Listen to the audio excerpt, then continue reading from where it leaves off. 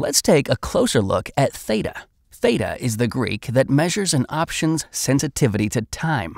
Theta is usually expressed as a negative number to represent a loss in value to the long option holder. Theta is generally expressed as one day's worth of time decay. For example, if the value of an option is 750 and the option has a theta of 0.02, after one day the option's value will be 7.48, two days 7.46, etc. In the prior example, the theta was a constant value of 0.02 for all three days. In reality, the theta loss increases as the option approaches expiration. For example, in March, a September option will have a daily time decay of 0.02. By August, the daily decay will increase to 0.06, and the option decays more quickly. Theta is greatest for at the money options. If you're going to trade options, theta is a measurement you will want to study.